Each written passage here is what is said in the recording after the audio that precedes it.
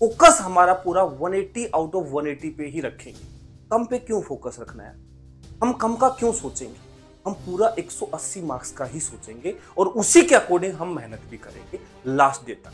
Time based study मैं physics में बिल्कुल भी इसे फॉलो करने के लिए नहीं कहता क्या ये नीट में सिलेक्शन लेना फिजिक्स में 180 लाना क्या बहुत टफ लग रहा है? नहीं है भाई टफ यदि सही तरीके से मेहनत कोई टाइम टेबल बनाने की ज़रूरत नहीं है, वो टाइम टेबल बस सिर्फ़ तोड़ने के लिए बनाया जाता है टाइम टेबल। हाँ अपना टारगेट कभी टूटना नहीं चाहिए वो दिमाग में हेलो बच्चों, आप सभी को एसीपी का प्यार भरा नमस्कार। बेटा, लेक्चर शुरू करने से पहले, हो सकता है बहुत से बच्चे मुझे जानते हो। जो बच्चे मुझे नहीं जानते हैं, मैं अपने बारे में थोड़ा सा बता देता हूँ। बेटा, मेरा नाम है आशीष चौधरी और मैं आपको मंथन बैच में फिजिक्स पढ़ाऊँगा बेटा। तो आशीष चौधरी फिजिक्स तो आप मुझे शॉर्ट में एसीपी सर कह सकते हैं। बेटा, मैं थोड़ी अपनी एजुकेशन के बारे में बताऊँ तो मैंने बीटेक किया है बेटा 2016 में इलेक्ट्रिकल इंजीनियरिंग से आईआईटी रुड़की से किया है बेटा। 2012 से 16 के बैच से। 2016 के बाद से मैं लगातार फिजिक्स पढ़ा रहा हूँ। डिफरेंट डिफरेंट जगह पे मैंने फिजिक्स पढ़ाया है। बहुत सारे इंजीनियर भी बने हैं बच्चे और डॉक्टर्स भी बने हैं। और उम्मीद है, ये जो खुशी है आप लोगों के थ्रू और ज़्यादा बढ़ने वाली है। अब देखो बेटा, थोड़ा सा अपन बात कर लेते हैं कि हम फिजिक्स में क्या स्ट्रेटजी फॉलो करने वाले हैं। हमें क्या कुछ ऐसा करना होगा कि इस बार हम अच्छे मार्क्स लाएँ, हम फोकस हमारा पूरा 180 आउट ऑफ़ 180 पे ही रखेंगे। कम पे क्यों फोकस रखना है? हम कम का क्यों सोचेंगे? हम पूरा 180 मार्क्स का ही सोचेंगे और उसी के अकॉर्डिंग हम मेहनत भी करेंगे लास्ट डे तक। ठीक है? अब देखो 180 मार्क्स लाना, कुछ बच्चों को तुम में से ऐसा हो सकता है कि लगता है कि आप नहीं, ये तो पॉसिबल नहीं है फिजिक्स तो हार्ड है फिजिक्स में 180 कैसे आएगा? ये सब मिथ है ऐसा कुछ नहीं है। सबसे पहले, आज ही अपने दिमाग में से ये डर निकाल दो कि फिजिक्स हार्ड है। ऐसा कुछ नहीं है। यदि फिजिक्स को तुमने अच्छे से समझा है, अच्छे से सीखा है तो फिजिक्स कभी हार्ड होगी ही नहीं। बहुत अच्छा सब्जेक्ट है इंटरेस्टिंग सब्जेक्ट है, यदि उसे अच्छे तरीके से समझा जाए तो। तो सबसे पहले ये डर निकाल दो फिजिक्स अब हार्ड नहीं है। ठीक है? हम, हमारा फोकस 180 के लिए ही रखेंगे। उसके लिए क्या करना है, वो पूरा मैं तुम्हें बताऊँगा, और उसके बाद मैं छोटा सा एक टॉपिक तुम्हें बताऊँगा, जो कि बाकी सब टॉपिक से इंडिपेंडेंट है। That is vernier calliper और मैं ये बताऊँगा क्या, मैं तुम्हें प्रैक्टिकल करके दिखाऊँगा कि ये आइडिया कैसे आया। किस तरीके से ये सोच जनरेट हुई कि अच्छा इस तरीके से भी हम और अच्छा रीडिंग और अच्छा लेंथ मेजर कर सकते हैं। इन सब के बारे में बात करेंगे लेकिन उससे पहले सबसे ज़्यादा इंपॉर्टेंट है, जो थ्रू आउट पूरे साल हमें फॉलो करना है, वो है हमारी 2025 के एग्ज़ाम के लिए क्या स्ट्रेटजी होनी चाहिए। फिजिक्स के लिए मैं बताने जा रहा हूँ बेटा। देखो तुम्हें बहुत जगह सुना होगा कि फिजिक्स के लिए हमें बहुत सारे क्वेश्चन प्रैक्टिस करने हैं, बहुत सारे करना है। लेकिन यार कितना, बहुत सारा कितना? कहाँ से? कैसे? इन सब का जवाब मैं तुम्हें आज देने मैं नहीं कहूँगा कि तुम्हें बहुत सारे किलो के हिसाब से पेपर भरने हैं नो स्मार्ट वर्क करना है।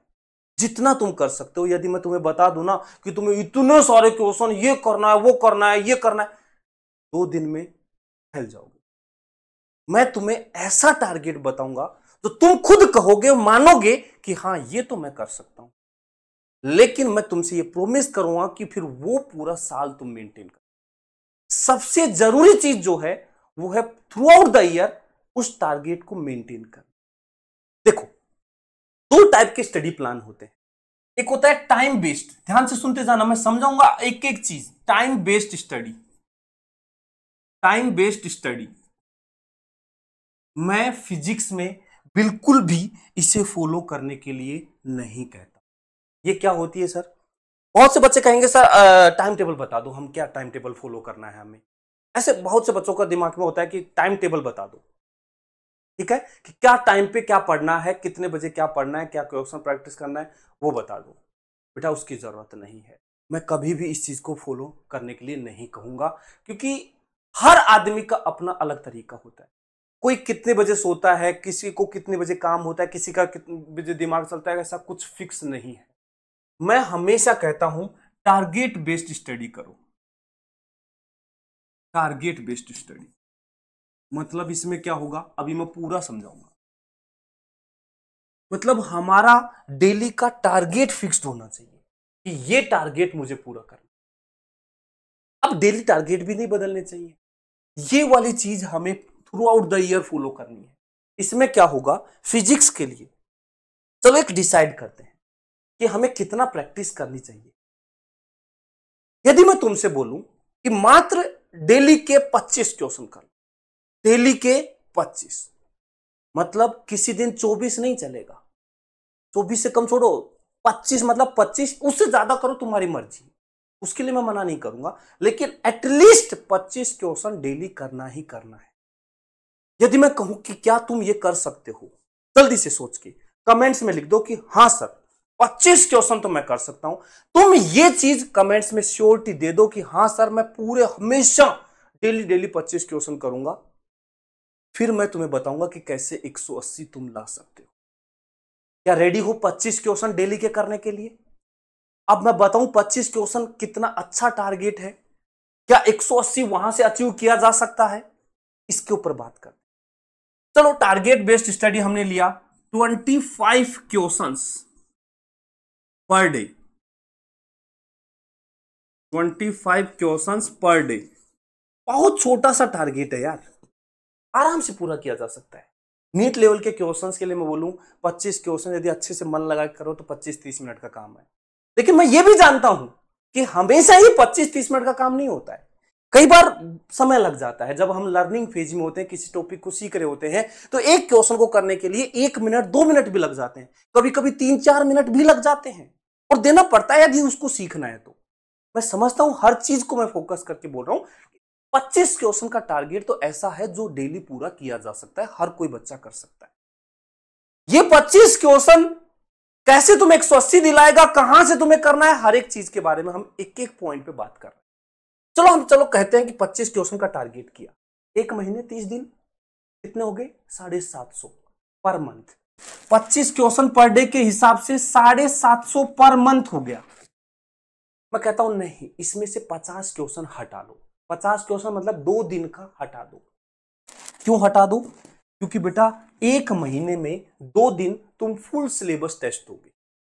तो उन दो दिन में तुम्हें 25 क्वेश्चन ना करो, ठीक है? लेकिन तुम टेस्ट दे रहे हो तो एक्चुअल में 25 नहीं, तुम हर पेपर में 50 क्वेश्चन सोल्व करोगे। फुल सिलेबस मतलब पूरा जो टेस्ट है मतलब फुल 180 क्वेश्चन वाला टेस्ट की बात। तो यहाँ पर इसको तुम साढ़े सात सौ ना करके सेवन हंड्रेड करो seven hundred seven hundred question दो दिन के हटा दिए। Plus hundred question from paper hundred question ये है टू पेपर जो हम बैच में लेंगे। एक महीने में दो टेस्ट एक टेस्ट में पचास क्वेश्चन पूरा का पूरा पचास क्वेश्चन लगाना है।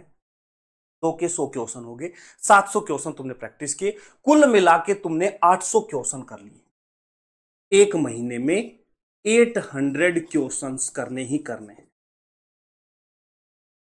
Per month.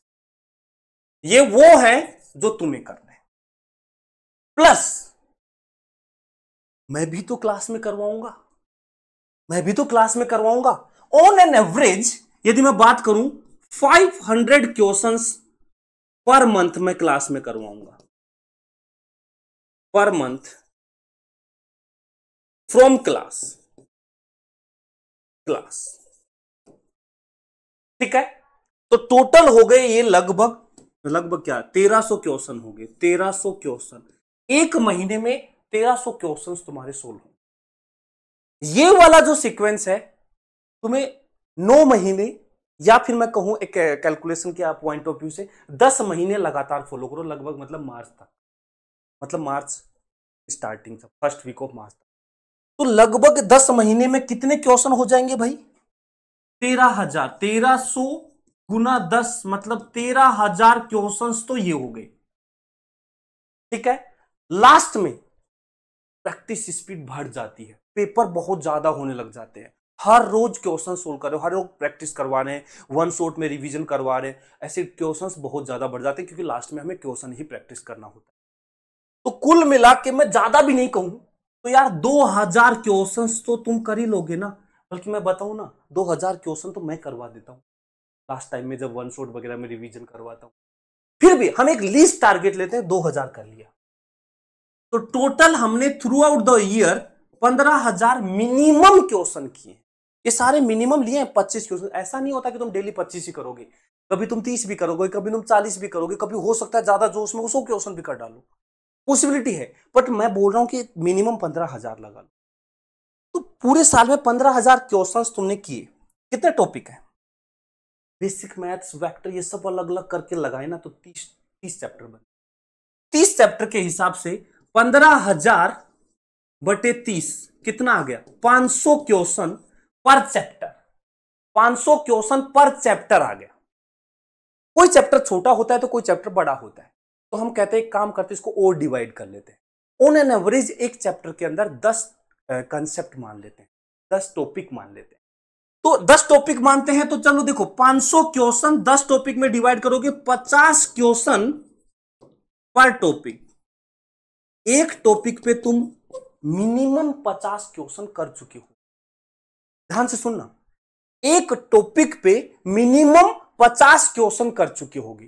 जैसे फॉर एग्जांपल कोई भी जैसे हम ग्रेविटेशन में मान करते हैं G small g is equal to G M upon R square इस फॉर्मूले में तुम 50 क्वेश्चन में खेल चुके होगे अलग अलग तरीके से। ऐसा हो ही नहीं सकता कि नीट के एग्ज़ाम में ऐसा कोई कंसेप्ट ना आए जो तुमने कभी किया ही नहीं। क्योंकि एक कंसेप्ट पे 50 तरीके के क्वेश्चन जब तुम कर चुके होगे ना पॉसिबल ही नहीं है उससे बाहर कहाँ जाएगा।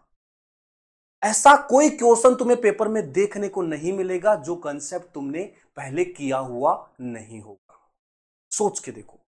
और ये एक मिनिमम टारगेट लेके चले हैं जो अचीवेबल है। जो कभी ऐसा फील नहीं आएगा कि मैं तो बहुत ज़्यादा कुछ कर दिया। नहीं। ज़रूरी है मेंटेन करके रखना पूरे साल। क्या तुम रेडी हो? क्या तुम ये इतना सा काम करके हर एक कंसेप्ट पर 50 क्वेश्चन लगा लोगे? इतना कर सकते हो या नहीं? ये बताओ तुम।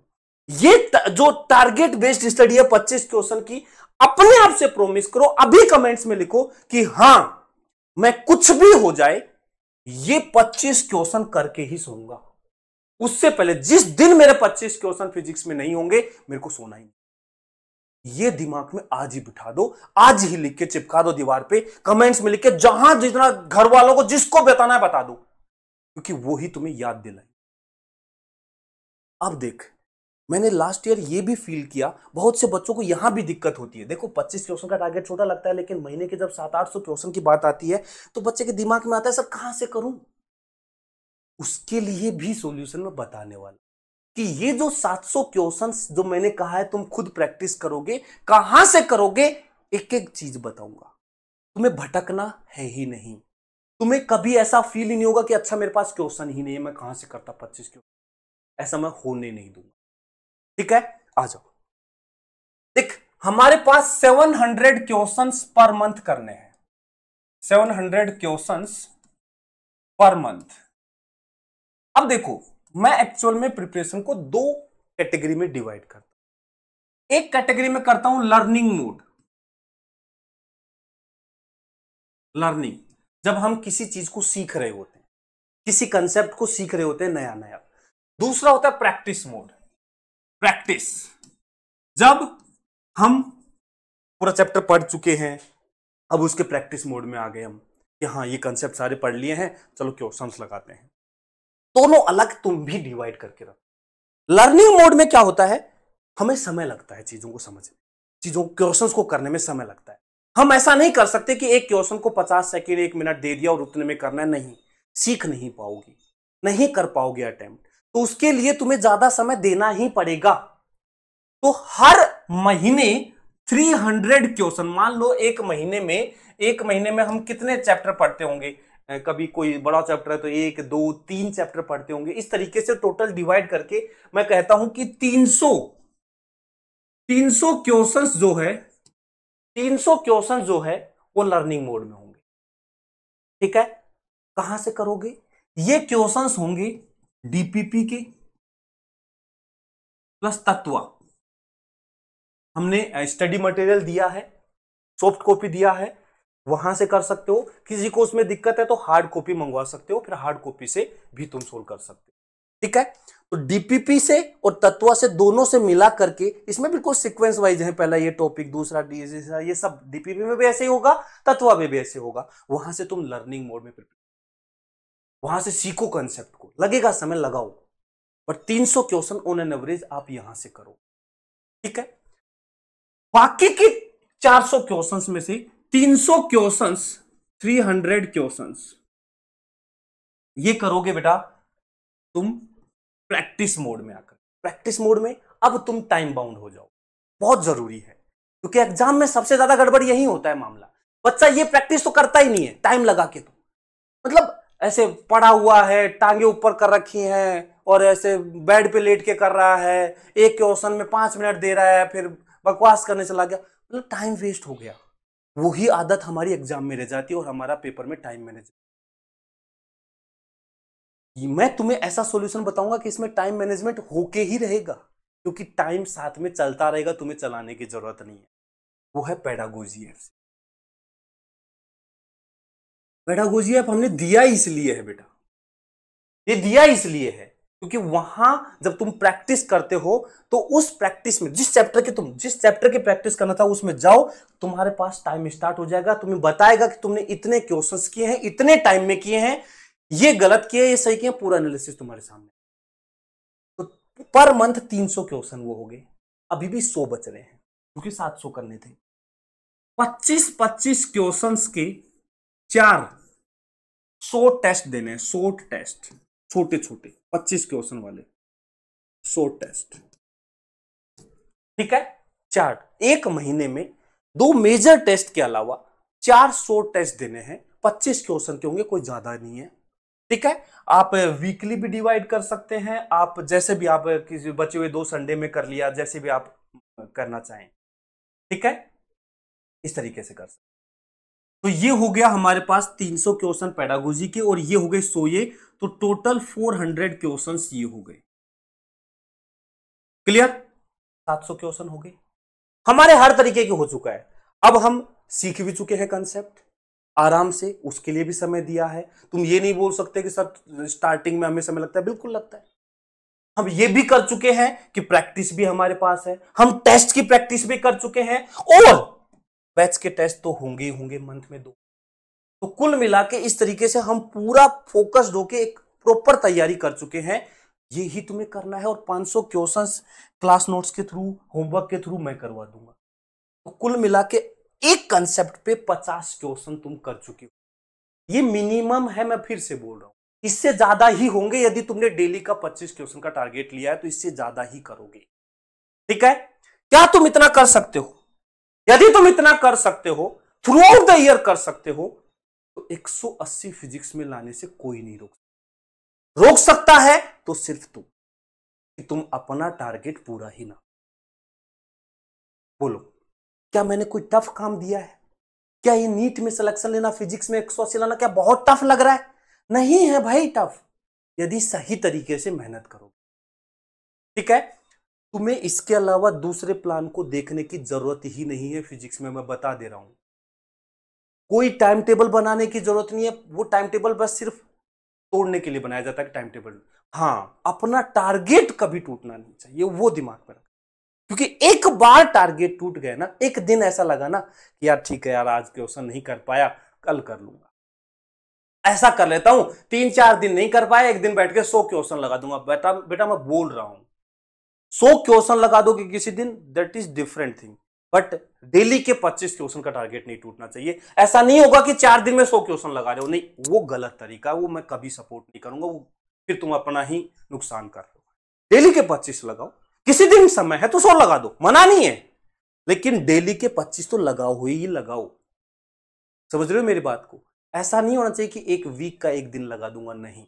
उससे काम नहीं बनता है मिसमैनेजमेंट हो जाता है लेक्चर छूटने लग जाता है बैकलॉग हो जाता ठीक है? ये थ्रू आउट द ईयर आपको फॉलो कर बहुत ज़्यादा चीज़ों में मैं कॉम्प्लेक्स तरीके से मैं तुम्हें घुमाऊँगा ही नहीं।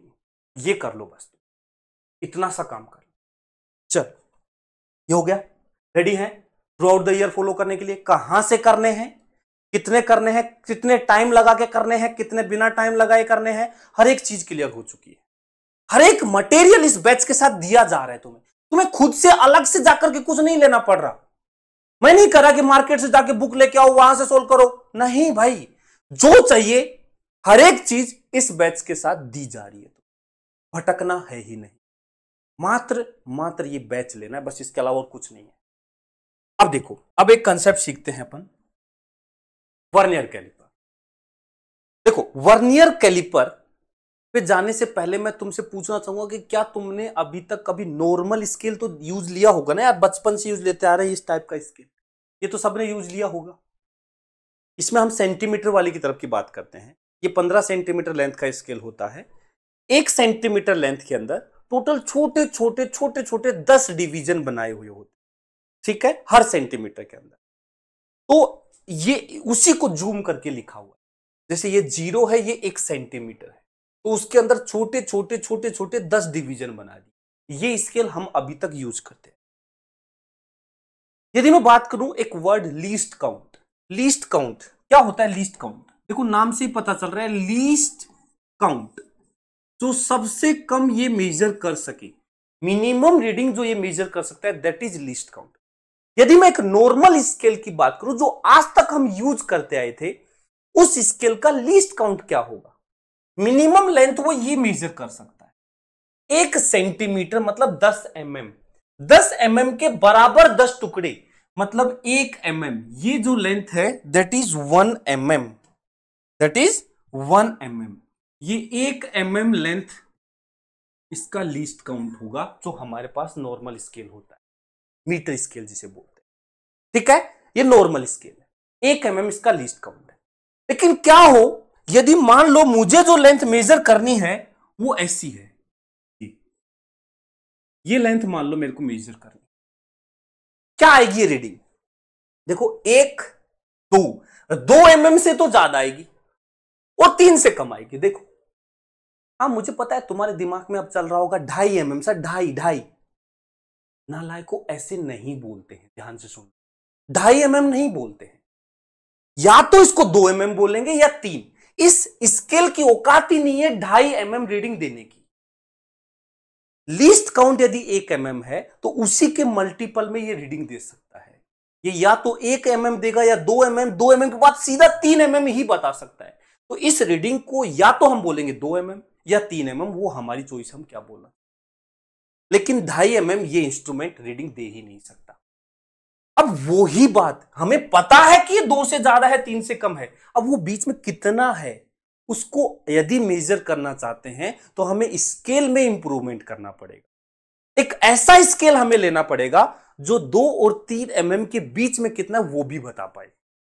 उसके लिए आइडिया आया कि चलो वर्नियर कैलिपर बना। अब वर्नियर कैलिपर के लिए क्या किया गया? ध्यान से देखना, बहुत ही बहुत ही शानदार दिमाग लगाया गया और इतना आसान कि तुम घर में खुद बना सकते हो। मैंने भी बनाया, मैं दिखाऊँगा अभी एक वर्नियर कैलिपर जो बिल्कुल देसी तरीके से बनाया, तुम भी अपने तरीके से बना सकते हो, अपने पास से बना सकते हो। देखो, उन्होंने क्या किया, एक ये वाली जो एक इंस्ट्रूमेंट जो है, इस ये जो अपना नॉर्मल स्केल था, उसके साथ में एक स्केल और अटैच कर दी। ऐसे ऐसे स्केल अटैच कर दी। ठीक है? दूसरा एक स्केल।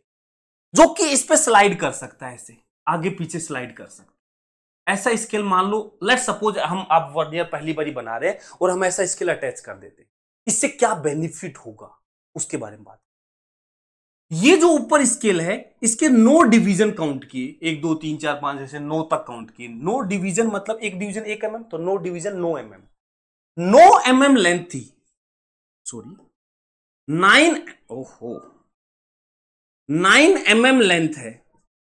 यदि मैं उसके बराबर दस हिस्से कर दूँ, इस नाइन एम एम लेंथ की यहाँ से यहाँ तक बराबर दस टुकड़े कर दूँ तो एक टुकड़े की लेंथ क्या आएगी? Zero point nine M M आएगी। बोल बोल बोल। ये डिवीज़न की लेंथ है एक एम एम तो इसमें जो दस हिस्से बनाए हैं तो उसमें से एक हिस्से की लेंथ आएगी पॉइंट नाइन एम क्यों बनाए लॉजिक अभी समझ में आ जाएगा, सब रुक जा। ध्यान से सीखता जा बस। सोच, ये ऊपर वाली लेंथ है, ये खाना है एक एम mm का। लेकिन नीचे वाला जो खाने की लेंथ है, ये डिवीज़न की जो लेंथ है, ये है पॉइंट नाइन एम एम थोड़ा सा कम है। दिख भी रहा होगा। दिख भी रहा होगा। ये थोड़ा बड़ा है और ये थोड़ा सा छोटा है। ठीक है? ऐसे ही फिर पॉइंट नाइन के बाद, फिर पॉइंट नाइन के बाद, फिर पॉइंट नाइन के बाद इस डिवीज़न चलते जा रहे होंगे। अब देख, इससे क्या बेनिफिट होगा? यदि सोच, मैं एक ऐसा मैकेनिज्म बना दूँ जिसमें ये स्केल तो फिक्स रहे और ये स्केल स्लाइड करे। ठीक है ना? अब एक बात बता मुझे। अभी तक देख तूने लिस्ट काउंट का फॉर्मूला हो सकता है, पहले कभी पढ़ा हो तो वर्नियर कैलिपर के लिए रटा होगा। पढ़ा क्या? मतलब रटा होगा तुमने। One M S D minus one V H D teacher ने बोल दिया होगा, रट ले। लीस्ट काउंट का फॉर्मूला रट ले। One M H D minus one V H D मैं बताता हूँ कि कहाँ से आया। कहाँ से? ऐसे मन मर्ज़ी उठा करके ये फॉर्मूला नहीं आ गया है। लॉजिक के साथ आया है। One M S D minus one V S D का लॉजिक कहाँ से आया? देख ध्यान से।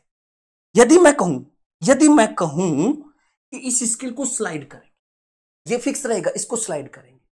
क्या लगता है? ज़ीरो से ज़ीरो डिवीज़न कौन साइड है? मैं इसको स्लाइड करूँगा। कौन सा डिवीज़न सबसे पहले ऊपर वाली लाइन के साथ मैच होगा? इस वर्नियर का कौन सा लाइन इसके साथ मैच करेगा कंसाइड करेगा? कौन सा लाइन? सोच के बता। जवाब आएगा ये, क्योंकि ये जस्ट इसके पास है। जैसे ही थोड़ा सा इसको आगे स्लाइड कराओगे, और ये देखो ये कौन साइड करेगा। और आगे करोगे, फिर उसके अगला कौन साइड करेगा। और आगे करोगे, फिर उसके अगला कौन साइड करेगा। मतलब यहाँ से जैसे थोड़ा सा इधर करोगे, ये कंसाइड कर जाए मतलब ये कहना चाह रहा है, ऊपर वाली लेंथ ये है, और नीचे वाली लेंथ ये है। ये है एक एम mm. ध्यान से देख। और ये है zero point nine M M ध्यान से देख। तो तू बता ना, ये लेंथ कितना होगा, ये वाली लेंथ एक एम एम पॉइंट नाइन तो ये होगा zero point one M M मतलब जिस मोमेंट पे तुम इसको स्लाइड करोगे और ये वाली लाइन कंसाइड करेगी मतलब ये गैप तुम आगे चल चुके मतलब तुम कितना आगे चले हो? पॉइंट वन एम एम मतलब तुम पॉइंट वन एम एम को मेजर कर पा रहे हो। भाई जैसे ये कॉन्साइड करेगा तुम कहोगे भाई अरे रुक जाओ पॉइंट वन एम चल चुके मतलब तुम पॉइंट वन एम को मेजर कर पा रहे हो। दूसरा कौन साइड कर रहा है तो पॉइंट नो पॉइंट नो एक पॉइंट आठ एम टोटल ऊपर वाला है दो एम mm, नीचे वाला एक पॉइंट आठ।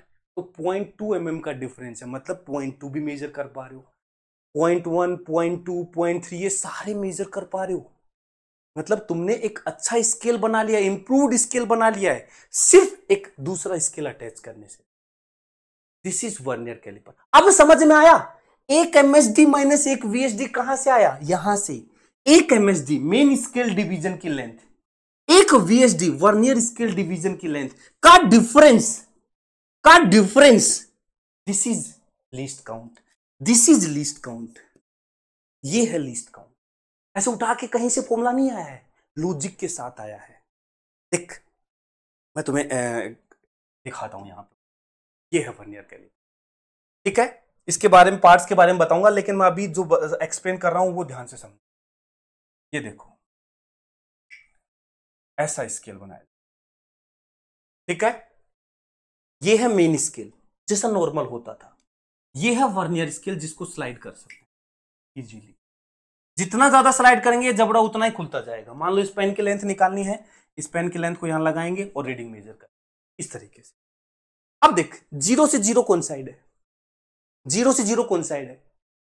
अब जब इसको तू स्लाइड करेगा थोड़ा और जूम करके दिखाते हैं, अच्छे से। अब जब तुम इसको आगे स्लाइड करेगा तो सबसे पहले कौन सा डिवीज़न कौन साइड करेगा? अभी तो ज़ीरो से ज़ीरो कौन साइड है? जैसे आगे करेगा थोड़ा सा आगे आ जा भाई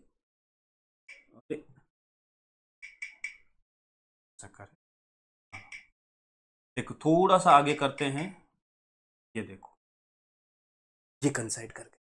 मतलब जो इस जबड़े में लेंथ खुली है ना तो यहाँ ये जो लेंथ खुली है ना this is point one M M length this is point one M M length ये वाली एम एम जैसे इसको आगे किया। ठीक है? और आगे करेंगे, फिर अगला कौन साइड करेगा। और आगे करेंगे, फिर अगला कौन साइड करेगा। ऐसे आगे आगे कौन साइड करते चले जाएँगे। कोई ना कोई एक डिवीज़न ऊपर वाले किसी से कौन साइड कर रहा होगा, उसके हिसाब से हम रीडिंग मैं वो सिखाऊँगा रीडिंग कैसे लेते हैं। बट पहले समझो कि ये one M H D minus one V H D कैसे आया है। ठीक है? ये समझना पड़ेगा। जैसे मैं तुम्हें एक स्केल बना के बता रहा था, वो ये देखो, ये रहा। ये है, देखो। ये हमारा है मेन स्केल ठीक है? नॉर्मल स्केल जैसा है वैसा ही बनाया मैंने। यहाँ देखो ज़ीरो वाली लाइन खींची है। ठीक है? ज़ीरो के बाद one two three four five six seven वैसे तो ये एक एम mm का नहीं है ये थोड़ा बड़ा है क्योंकि एक एम mm का बनाता तो दिखता नहीं। पर तुम लेट सपोज़ ये एक एम mm है। दो एम एम तीन एम एम चार एम mm, पाँच एम एम छह ऐसे डिवीज़न है। मैंने दूसरा स्केल अटैच कर दिया ये देखो इसके साथ ये। ठीक है? और ये देखो इसके साथ ज़ीरो से ज़ीरो कौन साइड करवा दिया जब यहाँ कुछ भी नहीं है, जब बराबर है दोनों ये तो ज़ीरो से ज़ीरो कौन साइड कर रहा है। और देखो, ध्यान से देखोगे तो ये देखो, नाइन्थ डिवीज़न कौन साइड कर रहा है। तो इस, देखो ध्यान से फोकस होने दो थोड़ा सा, आप देखो। ये एक, दो, तीन, चार, पाँच छ सात, आठ, नौ। और इसके टोटल किससे किए एक, दो, तीन, चार, पाँच छ सात, आठ, नौ, दस। नौ एम एम नौ डिवीज़न में दस हिस्से कर दिए। तो नौ एम एम लेंथ के दस हिस्से किए तो पॉइंट नाइन ध्यान से देखोगे तो इस डिवीज़न में और इस डिवीज़न में एक हल्का सा गैप दिख रहा होगा। देखो, हल्का सा गैप दिख रहा होगा। ये गैप है एक मेन स्केल डिवीज़न की length minus one vernier scale division की लेंथ ये मेन स्केल ये वर्नियर स्केल दोनों के एक डिवीज़न की लेंथ का जो डिफरेंस है दैट इज़ लीस्ट काउंट ये डिफरेंस ये जो गैप है। और जैसे मैं इस नीचे वाले स्कूल को थोड़ा सा आगे चलाऊँगा, ये देखो, ये कौन साइड कर गया मतलब ये जो लेंथ आगे चला है ना, ये जो थोड़ा सा लेंथ आगे चला है this length is equal to this gap यही तो लीस्ट काउंट है। जो लेंथ आगे चले, और चलूँगा तो ये कौन साइड कर जाएगा? और चलूँगा तो ये कौन साइड ऐसे कोई ना कोई एक कौन साइड करता रहेगा आगे। इस तरीके से रीडिंग आगे बढ़ती रहेगी। ये हमारा वर्नियर कैप तो मेरे ख्याल से अभी तक ये क्लियर हुआ होगा कि one M S D minus one V H D कहाँ से आया। जब ये सीख गए रीडिंग लेना उससे भी आसान है। उससे भी आसान है। आ जाओ। ठीक है? क्लियर हुआ कहाँ से आया? तो अब देखो वन मेन स्केल डिवीज़न हो गया, ये एक एम mm और ये पॉइंट नाइन एम तो लीस्ट काउंट जो निकल के आया one m m minus zero point nine m m तो आ गया zero point one m m कई बार इसको सेंटीमीटर में लिखते हैं तो zero point zero one centimetre. Centimetre के लिए टेन से डिवाइड कर क्लियर? अब देखो, हमें इसके लिए क्या क्या ज़रूरत पड़ी? इस स्केल में तुम्हें पता नहीं, लेकिन हमने ध्यान से देखो, स्टार्टिंग में कंडीशन रखी कि नाइन मेन स्केल डिवीज़न जो है मतलब ऊपर वाले जो स्केल है, इसको बोलते हैं मेन स्केल। इसको बोलते हैं मेन स्केल। मेन स्केल और इसको हम बोलते हैं वर्नियर स्केल वर्नियर स्केल तो देखो नाइन मेन स्केल डिवीज़न की लेंथ बराबर है टेन वर्नियर स्केल डिवीज़न ये इंफॉर्मेशन हमें क्वेश्चन में दी जाती है. बताता है वो कि कितने एमएसडी कितने। अब ज़रूरी हम नाइन एमएसडी टेन वीएचडी के इक्वल करें। हम एट एमएसडी टेन वीएचडी के इक्वल कर सकते हैं। आठ एम mm में दस हिस्से कर सकते हैं? सेवन को कर सकते हैं। मान लो नाइनटीन एम mm में ट्वेंटी हिस्से कर सकते हैं। वो हमारी मर्ज़ी है, हम कितने मेन स्केल के कितने वर्नियर स्केल करना चाहते हैं। लेकिन जो एक स्टैंडर्ड वर्नियर कैलिपर जो हमें मार्केट में मिलता है, उस स्टैंडर्ड वर्नियर कैलिपर में nine main scale division, ten vernier scale division के बराबर होते क्यों क्योसन में वो चेंज कर सकता है। एक इंफॉर्मेशन ये थी। दूसरी इंफॉर्मेशन एक मेन स्केल डिवीज़न की लेंथ एक एम mm है। ये दो इंफॉर्मेशन जो है, वो क्वेश्चन में हमें दी जाए चेंज भी कर सकते वो एक मेन स्केल डिवीज़न को एक एम mm के बजाय हो सकता है डिवीज़न पॉइंट फाइव एम पे बना दे। हो सकता है दो एम mm पे बना दे, उसकी मर्ज़ी है। वो क्वेश्चन में डाटा चेंज कर सकता है। इन दोनों डाटा की मदद से और इस फॉर्मूले की मदद से हम तुरंत से लिस्ट काउंट निकाल सकते कैसे? देखो nine M S D ten V H D था। अब देखो, हम, ये तो एक समझने की चीज़ थी। अब हम इसको सोल्व कैसे करेंगे उसमें देखो। Nine M S D ten V H D था तो यहाँ से एक वी एच डी की लेंथ निकालो हमेशा। इस वाली चीज़ से एक वी एच डी एक वी एच डी दस नीचे जाएगा, नौ बटे दस एम एच डी आएगा। तो लीस्ट काउंट का फॉर्मूला क्या था? एक एमएसडी माइनस एक वीएसडी एक वीएसडी को क्या लिखोगे? नौ बटे दस एमएसडी एलसीएम लोगे, दस एलसीएम आएगा, दस माइनस नौ, एक। एक बटे दस एमएसडी एक एम एस डी हमें कितना दिया है? एक एम mm, तो एक बटे दस एम mm मतलब zero point one m m यही तो लीस्ट काउंट आया था। यही तो लीस्ट काउंट आया था। अब हमें यही कर देखो देखो क्लियर हुआ ये बात? चलिए एक काम करते हैं। वन ईयर कैलिपर का थोड़ा सा बता देता हूँ सेप ऐसा होता है। इसमें बहुत सारे जबड़े होते हैं। ये होता है जैसे मान लो कोई भी पाइप है उसका डायमीटर मेजर करना है बाहर वाला डायमीटर एक्सटर्नल उसको यहाँ लगाते हैं इसमें फिट करते हैं और डायमीटर में। ये वाली जो लेंथ है ये देखो यहाँ बाहर वाले एज के बीच की लेंथ बताता है बाहर वाले एज। ये अंदर वाली एज के बीच की लेंथ बताता है ये बाहर वाली। मान लो जैसे होलो पाइ, पाइप है ठीक है ना पाइप है अंदर से खाली है अंदर वाला डायमीटर मेजर करना है उसमें ये नहीं काम करेगा ये काम। इसको यहाँ लगाएँगे और अंदर वाला डायमीटर मेजर कर किसी चीज़ की डेप्थ मेजर करनी है तो उसके साथ ही ये वाला पॉइंट ये वाला हिस्सा, ये वाला और ये तीनों एक साथ मूव करते हैं। जब हम इसको स्लाइड करते हैं तो ये भी खुलेगा, ये भी खुलेगा और ये भी पीछे डेप्थ बढ़ती जाएगी। जो भी चीज़ मेजर करनी है, वो इन तीनों से हम मेजर करते ये वर्नियर कैलिपर होता है। ठीक है? इनके नाम बता रखे कौन सा मेन स्केल वो हम बता ही चुके हैं। चलो अब क्वेश्चन पे आते हैं। देखते हैं कि इस फॉर्मूले की मदद से हम कैसा क्वेश्चन कर सकते हैं। बोल रहे एक वर्नियर कैलिपर में has one m m mark on main scale इसका क्या मतलब? देखो, हमें क्वेश्चंस को समझना चाहिए कि ये क्या कहना चाह रहा है। एक m m mark on main scale मतलब एमएसटी बता रहा है MST main scale division it has 20 equal division on vernier scale which match with 16 देखो, दो इंफॉर्मेशन एक इंफॉर्मेशन क्या दे दिया? One M S D is one m m एक इंफॉर्मेशन होगी। दूसरी इंफॉर्मेशन क्या दी? कि 20 equal division on vernier scale मतलब वीएसडी बराबर है। एग्जैक्टली मैच कर रहे हैं with 16 main scale division MSD हम यहाँ से क्या निकालते हैं हमेशा? वन वीएसडी क्या आएगा? 16 upon twenty MSD least count का फॉर्मूला क्या था? One MSD minus one VSD MSD main scale division एक एम एम लेंथ दे रखा है। चलो, इसको अभी वन एमएसडी रहने देते हैं, इसको एच और वन वीएसडी को ये रख देते हैं sixteen upon twenty MSD solve करो भाई एलसीएम लो। ट्वेंटी एलसीएम आएगा। और ये आएगा ट्वेंटी माइनस सिक्सटीन तो ये आएगा कितना? फोर एमएसडी अब बताओ, एक एमएसडी कितना है? चार बटे बीस, एक एमएसडी है, एक एमएम mm. तो चार बटे बीस एम देखो, इसे सोल्व नहीं होता है। डिवीज़न गलत तरीके से मत करो। कैलकुलेशन बहुत स्मार्टली करनी चाहिए। इसको नीचे टेन बना लो। तो टू से डिवाइड करोगे, ये टू आएगा। डिवाइड तो पूरा उससे भी हो रहा था, लेकिन टेन बनाओ नीचे। क्योंकि टेन को सोल्व करना आसान होता है डेसिमल खिसकाना होता है बस। दो एम एम बटे दस तो ये आ गया zero point two m m देख सीधा सीधा ज़्यादा दिमाग नहीं लगाना पड़ा। गलती होने के चांसेस ना के बराबर हो जाते। तो नीचे टेन, हंड्रेड ऐसी चीज़ें बना ली। तो point two m m point two m m हमारा। देखो देखो देखो। हमेशा यही इंफॉर्मेशन हमें दी जाए। इसी चीज़ को घुमा घुमा के पूछेगा। ठीक है? थोड़ा सा यदि इसको कंसेप्ट पे लेके आएगा मतलब फॉर्मूला रट लिया तो वो अलग है। ये कंसेप्ट पे देखो क्वेश्चन है। A vernier calliper having one main scale division equal to point one centimetre क्या दे दिया? एक M S T zero point one centimetre ऐसा ही होता है। एक एम mm मतलब पॉइंट वन सेंटीमीटर ऐसा ही होता है standard calliper is design to have least count ये भी दे दिया हमें लीस्ट काउंट इस बार हमें निकालना नहीं है, दे दिया।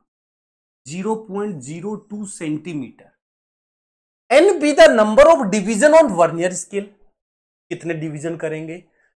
And N B the length of vernier scale vernier scale division की लेंथ टोटल अब देखो दिमाग।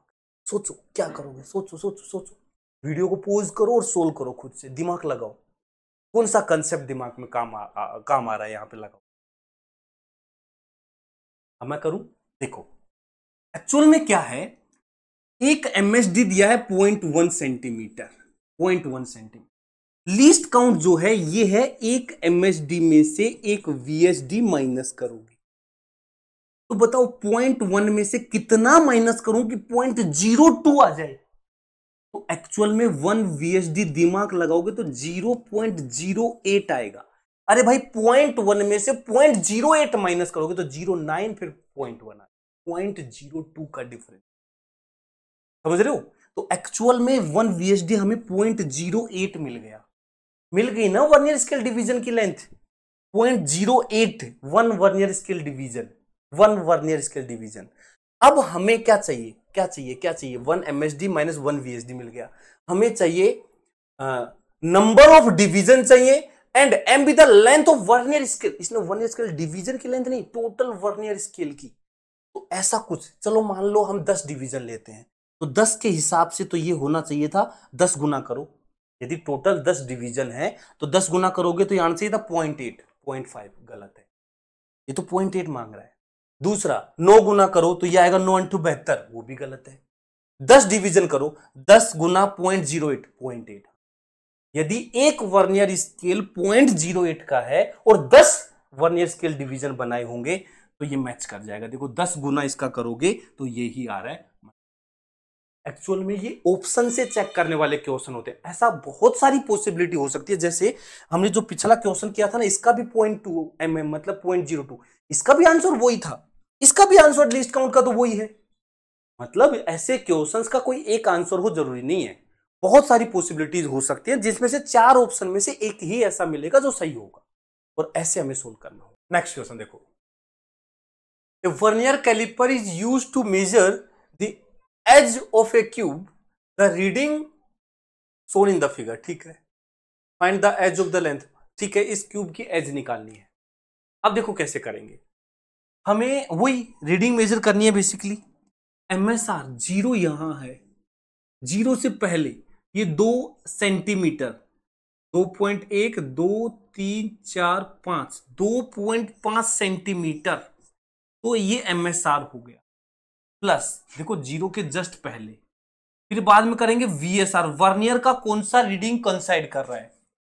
पहला कंसाइड नहीं कर रहा, दूसरा नहीं कर रहा, तीसरा नहीं कर रहा, चौथा नहीं कर रहा, पांचवा नहीं, छठा, सातवा। सातवा।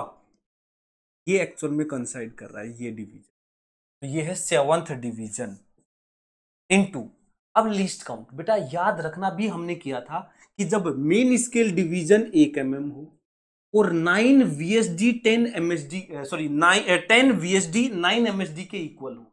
ये एक स्टैंडर्ड डाटा है, ये याद होना चाहिए, रटा होना चाहिए। अभी हमने निकाला था least count point one m m आता है। जब ये दोनों इंफॉर्मेशन हमारे पास हैं तो हंड्रेड परसेंट सीधा सीधा याद रखना कि लीस्ट काउंट जो होता है least count zero point one m m में आता है एम एम में। ठीक है? तो ये आ गया zero point one m m ध्यान से देखो, मैंने जानबूझ के ऐसा लिखा इधर एम एम उधर सेंटीमीटर। बच्चा देखता ही नहीं है। और यदि हमें सेंटीमीटर में आंसर चाहिए तो इसको तो एजिटीज रखो। लेकिन इसको पॉइंट सेवन एम को सेंटीमीटर में लिखोगे, zero point zero seven centimetre. तो ये आ जाएगा two point five seven centimetre. Centimetre में आंसर आएगा two point five seven centimetre. इसका साइड लेंथ। तो एक वर्नियर स्केल की रीडिंग निकालना बहुत आसान है, बहुत आसान। ठीक है? बताओ, कोई भी ऐसा केस दूँगा, तुरंत से रीडिंग निकाल दोगे। तो रीडिंग निकालना एक सिंपल सिचुएशन हो गया। हमें सिर्फ़ लिस्ट काउंट का फॉर्मूला याद रखना है और रीडिंग का फॉर्मूला याद रखना है। MSR plus VSR into least count. बस। चलिए थोड़ा सा और इसमें एक्सपर्टीज करते हैं।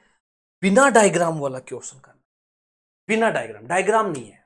अब क्वेश्चन करना इसमें सारी चीज़ें विजुअलाइज करनी होती देखो the smallest division on main scale of vernier calliper is one m m main scale पे स्मॉलेस्ट डिवीज़न एक एम mm का है।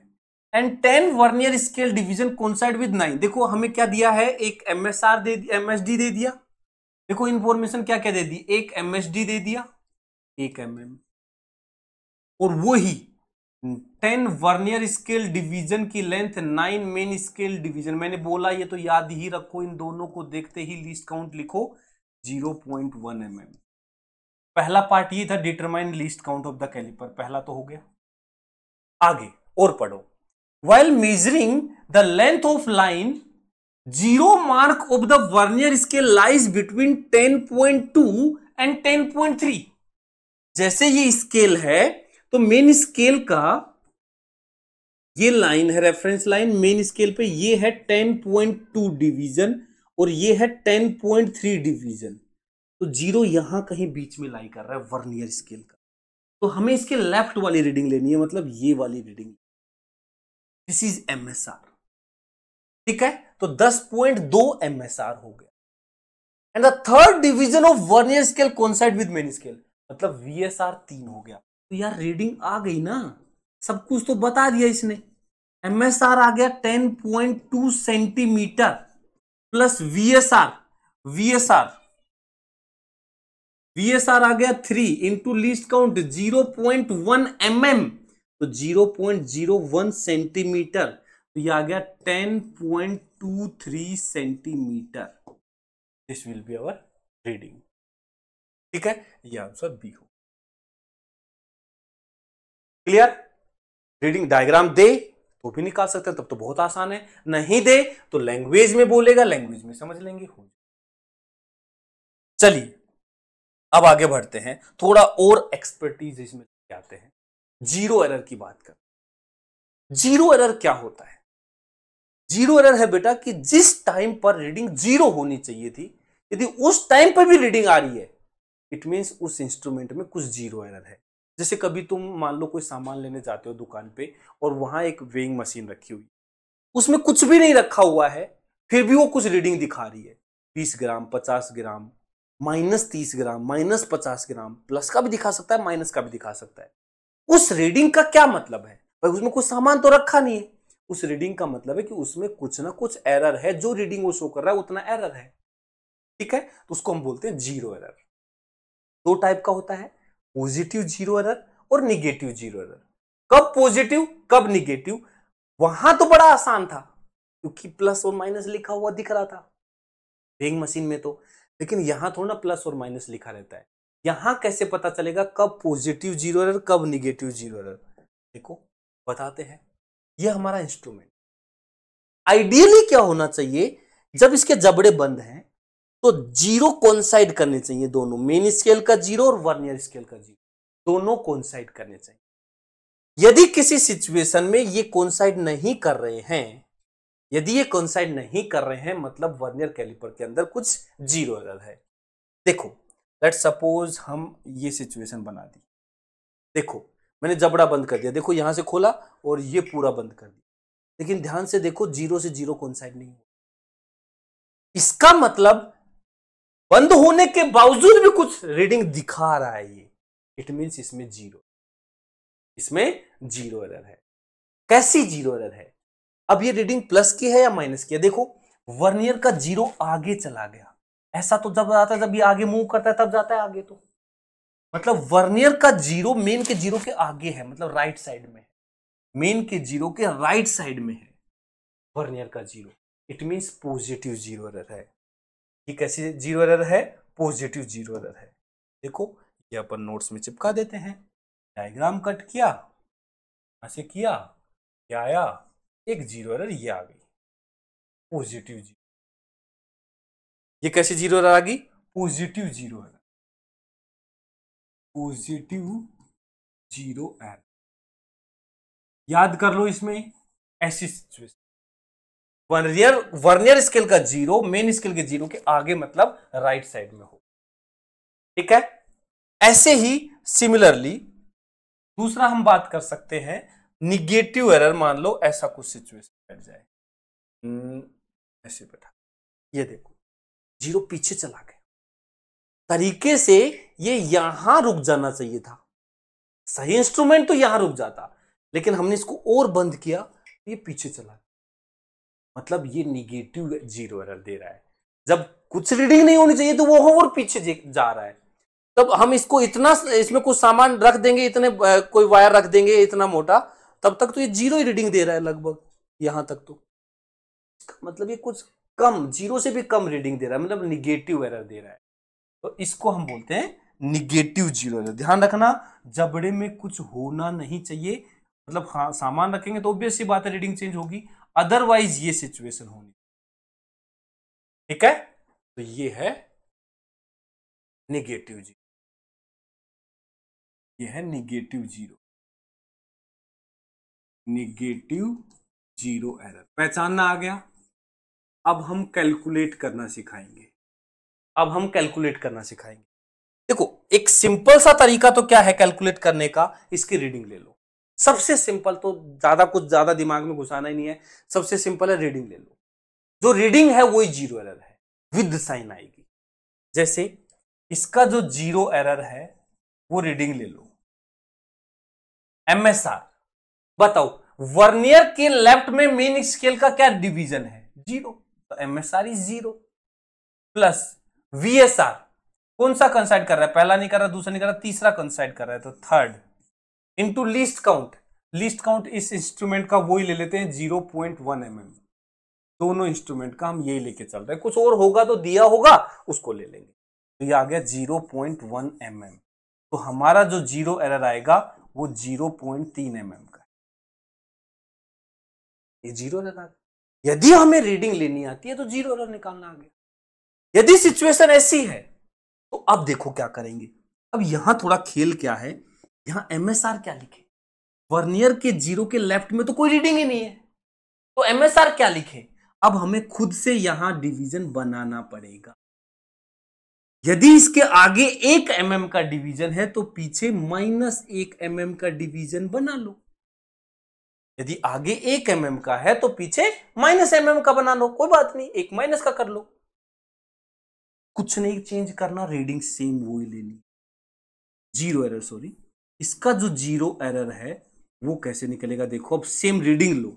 M S R plus V S R into least count M S R क्या है?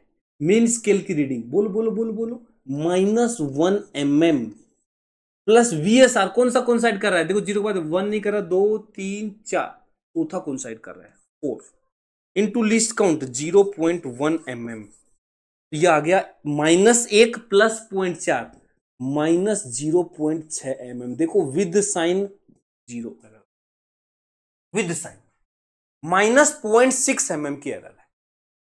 कर पाएगा। एक और तरीका होता है कि हम रीडिंग को उल्टा काउंट करते हैं, पर फालतू में कहा कंफ्यूज होना भाई। क्यों नए नए मेथड बनाना? तो सिंपल सा हम माइनस वन डिवीज़न करके और रीडिंग निकाल सकते हैं, और विद साइन आ रही है तो इससे बढ़िया और क्या चाहिए? तो ज़ीरो एरर के लिए दोनों केस में हम ये काम विद साइन हमारे पास पॉजिटिव है तो प्लस क्या आई है, निगेटिव है तो माइनस क्या आई है। ये ज़ीरो एरर जैसे जैसे एक क्वेश्चन मान लो मैं यह करवा देता हूँ, एक क्वेश्चन मैं यहाँ करवा देता हूँ, जैसे ये देखो। The jaws of vernier caliper shown in figure are in contact मतलब जबड़ों में कुछ नहीं है, कोई सामान नहीं है मतलब ज़ीरो होना चाहिए था। With each other the find zero in the vernier caliper तो तब भी ये ऐसी रीडिंग दिखा रहा देख, ज़ीरो से ज़ीरो कौन साइड नहीं कर रहा। वर्नियर का ज़ीरो आगे है तो ये पॉजिटिव ज़ीरो एरर है। और कितनी आएगी? Positive zero error. रीडिंग निकाल दो। मेन स्केल की तो आ गई ज़ीरो, प्लस वर्नियर स्केल की। पहला नहीं कर रहा, दूसरा नहीं कर रहा, थर्ड कौन साइड कर रहा है तो three into least count point one तो ज़ीरो पॉइंट थ्री। ये तो अभी जैसे किया था, सेम ही आ गया। सेम ही आ गया। कोई बात मान लो ऐसा है। पीछे चला गया। सेम क्वेश्चन है, बस रीडिंग पीछे जा रही है। कोई बात नहीं। ज़ीरो एरर वही रीडिंग लेना है अपने को तो। अब अलग कुछ काम करना नहीं है। तो इसके पीछे खुद से क्या बना दोगे? माइनस एक। इसके पीछे खुद से माइनस एक एम बना दो। बाकी सब डाटा दे रखा है। देख, एक मेन स्केल एक एम के दे रखा है। Ten V H D nine M H D दे रखा है। ये दोनों अपनी बात चिल्ला चिल्ला के बोल रहे हैं कि लीस्ट काउंट जो है वो पॉइंट वन एम एम है। दोनों अपनी बात, देखो डाटा दे रखे हैं हमें। अपनी बात बोल रहे हैं कि भाई देखो एक एम एस डी एक एम एम और ten V S D nine M S D के बराबर, एक स्टैंडर्ड वन ईयर कैलिपर है तो least count point one M M की आ गई बताओ एरर क्या आएगी? माइनस वन प्लस कौन सा कर रहा है? पहला नहीं कर रहा दूसरा नहीं कर रहा तीसरा नहीं कर रहा चौथा कौन सा? ये सेम ही आ गया यार। सेम ही क्वेश्चन आ गया। मतलब जो हमने वो लिया था डाटा एग्जैक्टली मैच हो गया। कोई बात नहीं। कोई बात नहीं। मतलब कुल मिला के इसी को ऐसे क्वेश्चन में बना सकता है और जो हमने डायरेक्ट यहाँ से किया था यहाँ से। हम यहाँ से चेंज कर सकते हैं। यहाँ से मान लो ये मान लो ये कर दिया। तो पीछे है तो माइनस वन पहला नहीं करा दूसरा नहीं करा तीसरा नहीं करा चौथा नहीं करा पांचवा नहीं करा छठा छठा मैच कर रहा है। तो, तो माइनस वन और प्लस का पॉइंट सिक्स तो माइनस का पॉइंट फोर अरे रे रे क्या हुआ? Minus one M M M S R हो गया और प्लस का सिक्स डिवीज़न साइड कर रहा है पॉइंट वन ये कितना आ गया? Minus zero point four least का सॉरी ज़ीरो एरर का। हो गया। सिंपल ठीक है? क्लियर चलिए। ज़ीरो एरर अब हम निकालना सीख गए कि किसी इंस्ट्रूमेंट में हम पहचान सकते हैं कि ज़ीरो एरर कैसी है, प्लस की है माइनस की है। कितनी है, वो भी हम निकाल सकते हैं। हम लिस्ट काउंट निकालना सीख गए, हम रीडिंग लेना सीख गए, हम ज़ीरो एरर पहचानना सीख गए, ज़ीरो एरर निकालना भी सीख गए। खेल होता है कि जो ज़ीरो एरर है, एक इंस्ट्रूमेंट की ज़ीरो एरर हटाई कैसे जाए। मतलब जो गड़बड़ वो दिखा रहा था, उस गड़बड़ को दूर करके सही रीडिंग कैसे निकाली जाए। उसके लिए हमें एक चीज़ समझना है। जैसे फॉर एग्ज़ाम्पल तुम मार्केट में सामान लेने गए। सामान लेने गए, वहाँ पे तुम देखा कि जब तुम कुछ भी नहीं रखा, जैसे चीनी लेने गए मान लो, वहाँ कुछ भी नहीं रखा है उस वेइंग मशीन पे, फिर भी वो पचास ग्राम दिखा रहा है। तुमने कहा, भाई, आधा किलो चीनी दे दो मतलब 500 ग्राम चीनी दे दो। उसने क्या किया? 500 ग्राम किया और दे दिया। मतलब उसमें रीडिंग 500 ग्राम दिखाई, उसने दे दिया। क्या तुम लेके आ जाओगे? क्या तुम लेके आ जाओगे? जब ज़ीरो था, तब 50 ग्राम दिखा रहा था। तो अब उसने 500 ग्राम किया है। एक्चुअल में वो साढ़े चार सौ ग्राम ही होगी, क्योंकि 50 ग्राम तो पहले भी दिखा रहा था। साढ़े चार सौ उसने डाली होगी तो 500 ग्राम दिखा रहा है। मतलब वो गड़बड़ थी उसमें। तो अब कैसे उसको सही करोगे? तुम कहोगे, भाई, देखो 50 ग्राम की तो ज़ीरो एरर थी और 500 ग्राम रीडिंग दिखा रहा है। तो इसमें से ज़ीरो एरर माइनस भी तो करोगे। तभी तो सही रीडिंग आएगी हमारे पास। कि भाई 500 रीडिंग दिखा रहा है 50 की एरर है तो 500 सौ माइनस पचास। ये हमें मिला है सामान। सेम काम यहाँ करना है। यहाँ हमेशा याद रखना ट्रू वैल्यू मतलब ज़ीरो एरर हटाने के बाद ट्रू वैल्यू जो आएगी true value will be equal to measured value measured value minus zero error